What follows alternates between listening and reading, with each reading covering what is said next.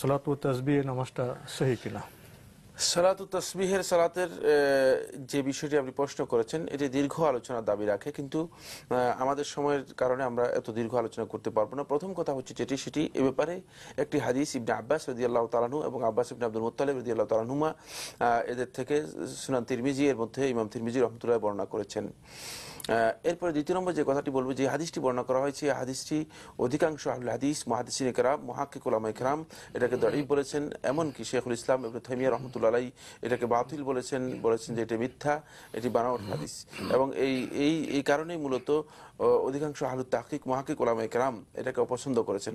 তোর মধ্যে ইমাম মাহমুদুল হাম্পুর রহমতুল্লাহ আলাইকে যখন প্রশ্ন করা হলো, তখন ইমাম রহমতুল্লাহ আলাই এই কথা বলেছেন যে এটা লাই যে এটা আমাকে খুব বেশি মানে ইয়ে করছে না মানে পছন্দ হচ্ছে না। যে কারণ এই সলাতের মধ্যে তসবিহের যে সুরতগুলো আলোচনা করা হয় তাকে, এটা সলাত মানে সলাতে যে সাধারণ যে নিয়ম রয়েছে, এই নিয়মের পরিপন্থী, এই নিয়মের পরিপন্থী। এরপরে যে কথাটি আসবে সেটি হচ্ছে রসুল্লাহ সাল্লাহ আসলামের কাছ থেকে যদি এই হাদিসটি সাব্যস্ত হয় তাহলে অবশ্যই এর মাধ্যমে সাহাবিদের আমল সাব্যস্ত হবে এবং সাহাবিদের পরবর্তী তাহাবিদের আমল সাব্যস্ত হবে এবং এটা সালফে সালিহিনের একটা আমল সাব্যস্ত হবে। কিন্তু মানে আমরা যদি ইতিহাস দেখি তাহলে দেখব যে সালফে সালিহিনের আমল মূলত এই সলাতের উপর পাওয়া যায় না। এটাই প্রমাণ করে যে মূলত এই সলাতটা মানে যেটা বর্ণনা করা হয়েছে চর্চা ছিল না। এই চর্চা ছিল না এবং যেটা বর্ণনা করা হয়েছে এই বর্ণনাটুকু মূলত সালফে সালেহীন গ্রহণ করেননি।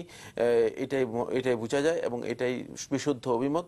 সুতরাং সলাত তসবি আমরা আদায় করব কেন? যেহেতু রসুল্লাহ সাল্লাহ আরেকটি হাদিসের মধ্যে স্পষ্ট বলে দিয়েছেন, আফদাল উসলাতি বাহাদাল ফরিদা সলাতুল্লাইল ফরদ নামাজের পরে সর্বশ্রেষ্ঠ নামাজ হচ্ছে সলাতুল্লাইল রাতের নামাজ।